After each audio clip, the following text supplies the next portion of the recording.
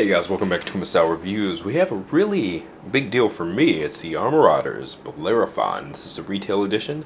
Reviewed a test shot, went over the unboxing of this guy. Now we actually get it, get to get into the nitty gritty. So we have Bellerophon here. Comes with a stand. He comes with two blasters. Um, this is Cam, the pilot. His backpack, his stand, a couple of blade type weapons. This one's disassembled. We'll show you why in a bit as well as an alternate dome piece for Bellerophon himself. So, move Bellerophon over here. As well as his weapons, we'll clear out some of this stuff and we'll focus on Cam. Alright, so get this straightened out here. Pilot size. Cam is just under 2 inches tall. So small, but not insanely small. Check out the posability on this guy. So he has a ball jointed head, full rotation in the shoulders here. Okay? Swivel, elbow bend, wrist swivel, and pegs on the wrist for his weapons. Alright? He bends at the mid torso, like right below his rib cage, but it's still, I would call it waist swivel, in a sense not full waist. Now he does have full thigh rotation. Check this out. Thigh swivel and knee bend. Only thing he's missing from the standard, let's say, deluxe figure or so, is just maybe articulation of the feet. All of those don't have it, so he's just as posable as anything you'd buy that's six inches at a retail store. So definitely not bad. Now we have his backpack here as well. To put this on, you have to remove his head. Just pop that off the ball joint.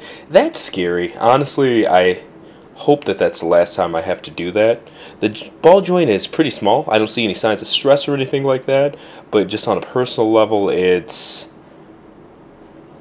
it's a bit much. Just feeling that neck kind of stretch while you're doing it. So I'm going to take this off camera for a second so I can see myself actually push the head back on. Not hard. The arm came unpegged. Just pegs in there. But now we've got him with his backpack on. Alright. So that's how it looks with the backpack. Let me make sure my camera's focused there. Show you what the back of it looks like here.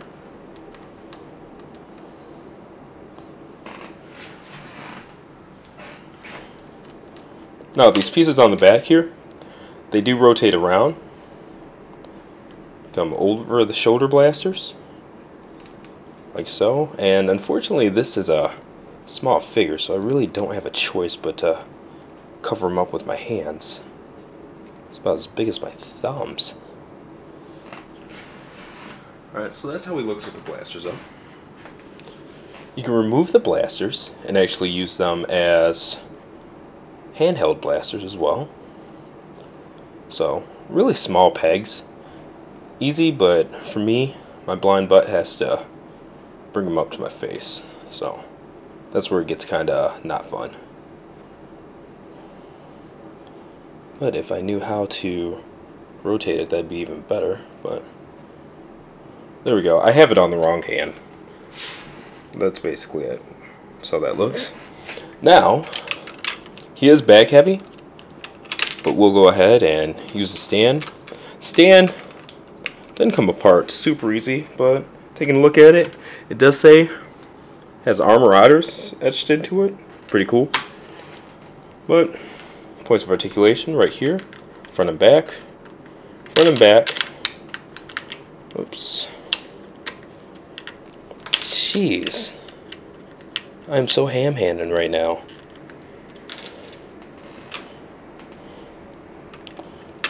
And it's pretty thick plastic too, so you don't worry about it breaking.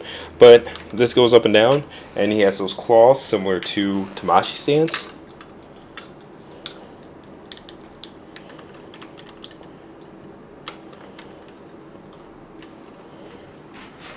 and something like that.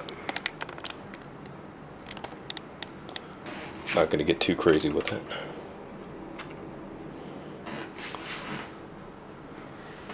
There you go. There he is on the stand. Now, have a little bit of fun. We will get him inserted into the Bellerophon. Now this one's considered Cam's Custom, the Bellerophon is a model of Mecha in the Armor comic. Now I'm going to include a link to armarauders.com so that you can go ahead and check it out. The live comics especially are really, really well done, so I dig them. Alright, get that focused. Alright, now the way this works, got to get cam all configured. This pulls out, that pulls out. This switch goes out, and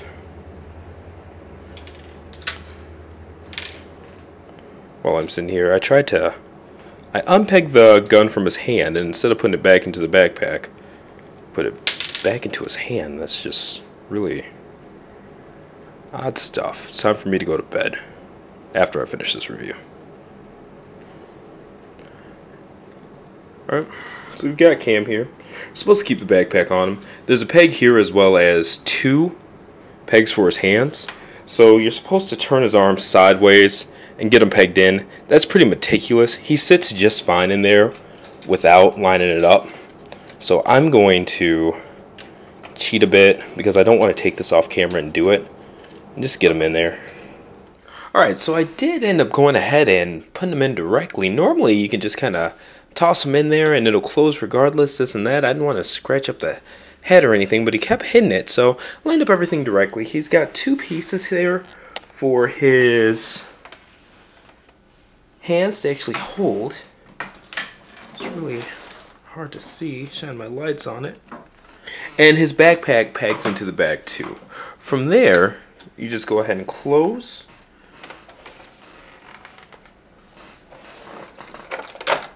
And get that all pressed back.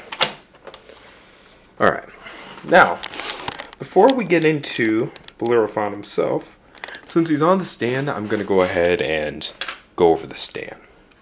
The stand is pretty cool. Really adjustable. So he's got holsters here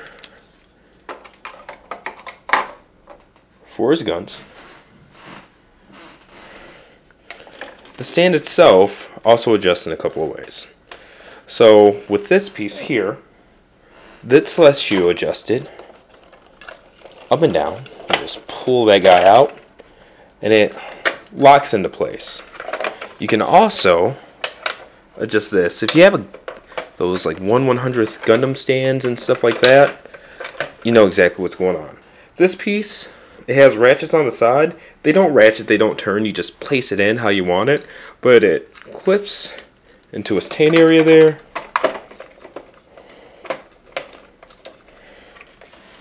And it's good that it doesn't ratchet actually because it holds it in place. There's no stripping or anything like that that's going to happen. So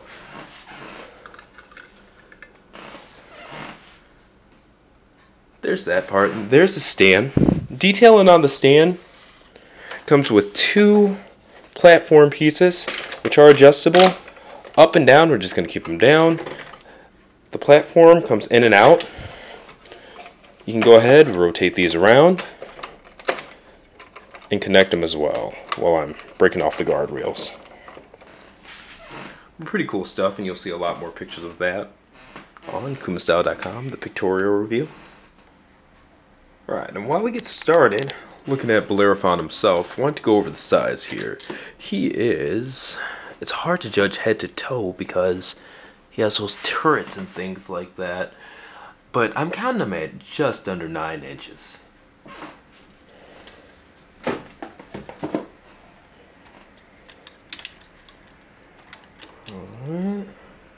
And just so you can see how he scales maybe to your super robots and things like this, this one isn't really going to go along with like a lot of Transformers collections and this and that. So that's why I chose some Soul of Chogokin to stand it next to.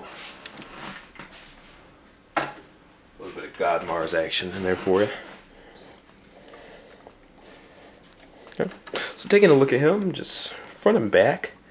One thing I like about him, there are a lot of moving pieces on this guy.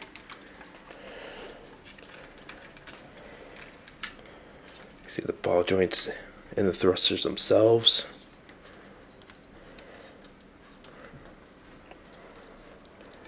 So just a ton of moving pieces.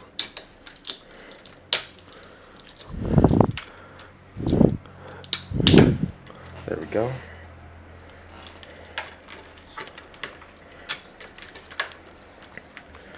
And even his shoulders, as well as his collarbone area here. Missile pod type deals. So cool Easter eggs. And another thing that's really neat about him, he has a lot of interchangeable pieces. So I don't know if this is going to go with further customization down the road or anything like that, but taking a look here, things like his ammo clips here, clip off, even his knees for whatever reason, clip on and off. They're all the same kind of clip there. I left one of the clips on the blade weapons here, so you can see how that looks clipped on. Alright, so you got that there. And I'll be hard pressed. Yep, it happens every time. It clips in so tight, and there's nothing wrong with that. That piece comes off fairly easy. But that literally just flew across the room while this guy starts to fall over. Alright, so you can see how that works. It's a slide piece that I apparently haven't mastered yet.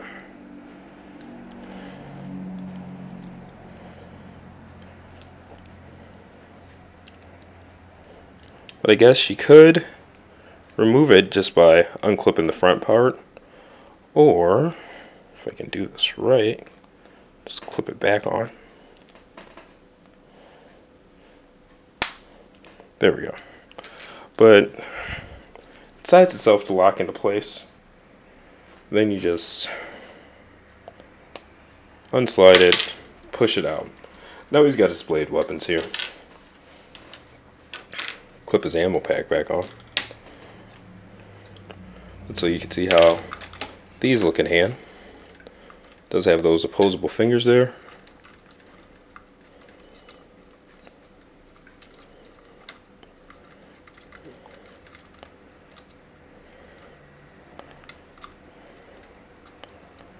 And they really had fun shooting with the weapons and things like that. I like that it's three Get some throwing action in there too. That's how that looks. His blasters, on the other hand, he comes with two of them. They do have some pieces that come off, like the ammo clip there. It is interchangeable with those. I thought the front of it came off for whatever reason, but I believe it does. Nope, that must have just been a problem with the test shot. Actually, it comes off right there. There we go. So I don't know if that's going to be further customization later or anything like that, but that's pretty cool. I like that he has these individually posable fingers because you can give him an actual trigger finger there.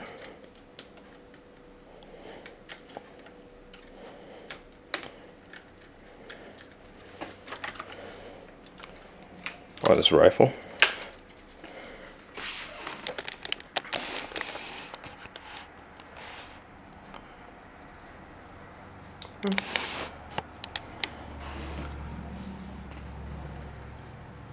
See how he looks holding his weapons. Get some of this stuff out of the way. Also, we'll go ahead and go over that alternate dome piece.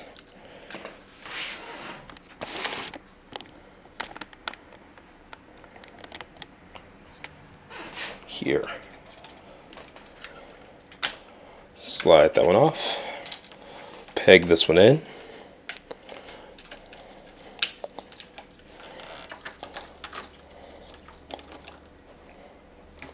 You can see how that looks.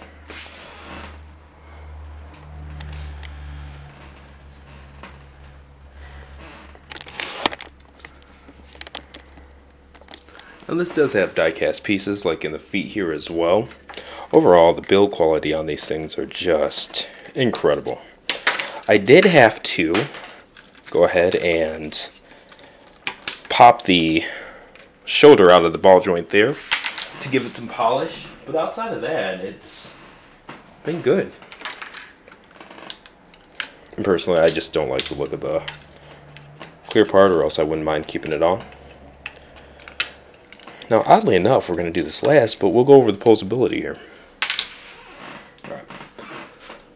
Ball jointed head, good upward, downward movement, a little bit of play in the neck there to move that in and out. The shoulders are all kinds of crazy. So there's initially a ball joint right in there, but then there's a whole nother shoulder area itself. These missile pods move, these shoulder, call them pads, they move up and down, ball jointed, come in and out, things like that. It's all on this like circular track. But the shoulders themselves, ratchet, click, really tight. Ugh, everything's really tight. Bicep swivel. So you saw that. Double jointed elbows. The wrist on ball joints, but it also has a forward and back the fingers are cool. Super articulated hands, not my thing, but especially like third party Transformers and stuff like that, you see them be released all the time. Ever since the 1 100 Gundam started releasing those type of mandibles or whatever, people are going crazy for them. So, see there? See all the points of articulations on the fingers. Started a ball joint, and then there are one, two knuckles in between them. Right. Then the thumb is really cool. It has this in and out piece. The thumb itself on a ball joint, and then it has the thumb knuckle. So really, really realistically, it's well done. Moving on with the articulation here, you see the waist swivel. He does have ab crunch. Full rotation in the thighs there. Clip that piece back in. Double jointed knees, which is great. Fantastic ankle tilt. So you've got ball joints. Well, it's back and forth. It's a swing. And then back and forth. So it's full rotation, but then at the ankle, it actually tilts. And then the feet do go up, so those running poses and things like that. Rather than the Iron Man pose, speaking of which, let's go ahead and just take them for a run instead. So it's hard because this is a surface that I use for shooting. It's reflective and pretty slippery.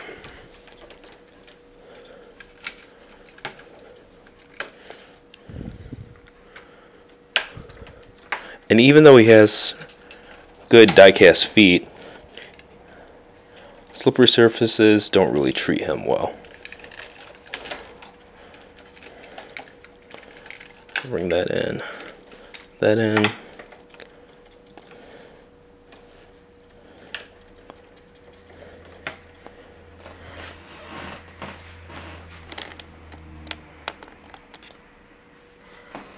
There we go. That's the Armarauders Bellerophon. This is the retail edition. This is the Cam's custom version. This has been another Kuma Style review. Where to buy? Uh, ToySource.com. Go ahead and put the link in the description uh, to that as well. Let me know what you guys think. This has been a bit of a longer review, but this one comes with a lot of stuff. Thank you for taking the time to watch it.